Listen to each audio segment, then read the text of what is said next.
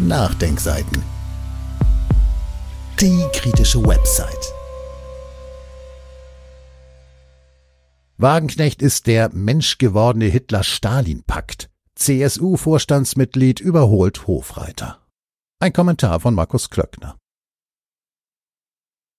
Sarah Wagenknecht ist der menschgewordene Hitler-Stalin-Pakt. Das sagte gerade CSU-Vorstandsmitglied Bernd Posselt.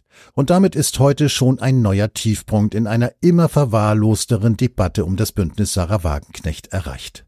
Gestern noch kommentierten die Nachdenkseiten die Äußerung des grünen Politikers Anton Hofreiter, wonach Wagenknecht eine der schlimmsten Kriegstreiberinnen, die wir im Land haben, sei, und heute also wird Wagenknecht quasi zum neuen Hitler. Damit dürfte dann aber vermutlich der Höhepunkt des Tiefpunkts erreicht sein. Schlimmer als Hitler geht nicht. Und jeder kann sehen, wo Wut Argumente ersetzt, steht am Ende irgendwas mit Hitler.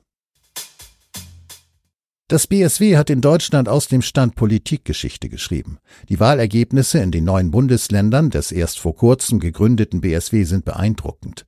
Eine beachtlich große Zahl an Bürgern hat eine Partei gewählt, die nicht mitmacht beim Feindbildaufbau Putin. Viele Wähler haben einer Partei ihre Stimme gegeben, die laut und deutlich Frieden sagt. Das ist ein Störfaktor, und zwar ein beträchtlicher Störfaktor.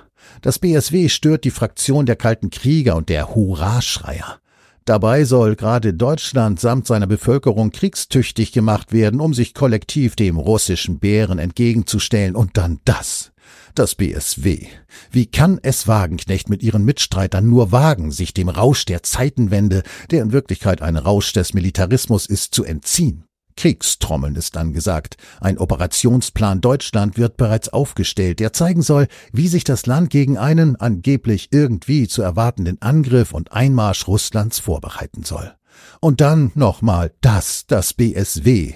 Ist das schon so eine Art Wehrkraftzersetzung, wenn eine demokratische Partei in einem demokratischen Land bei demokratischen Wahlen mit an der Demokratie partizipierten Bürgern keine Lust auf Krieg hat? Als Journalist, der analysiert, würde man sagen, welch ein Unfug. Nur heute ist ja alles gar nicht mehr so einfach. Heute sagt eine Politikerin Frieden, schon ist sie eine der schlimmsten Kriegstreiberinnen, die wir im Land haben. Heute sagt eine Partei Nein zu Waffenlieferungen in die Ukraine, schon liegt da der Hitler-Stalin-Pakt in der Diskussion ganz oben.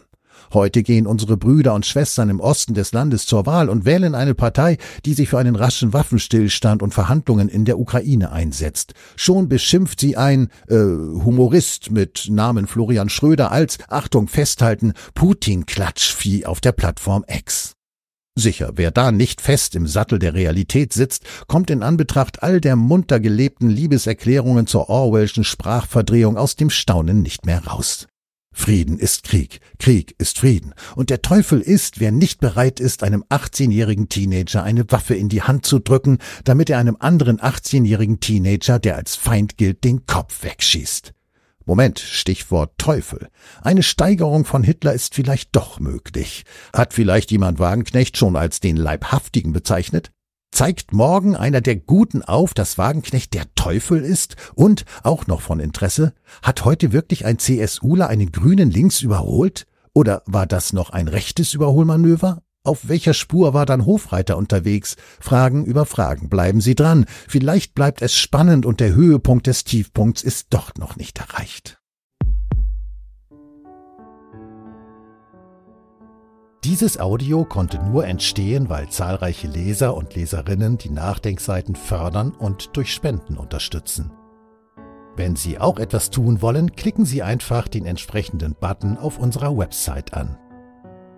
Übrigens, Sie können uns auch bei iTunes, SoundCloud und YouTube hören und wenn Sie mögen, gerne unseren Kanal abonnieren und eine positive Bewertung für uns abgeben. Wir freuen uns über Ihre Unterstützung und die Weiterverbreitung unserer Inhalte.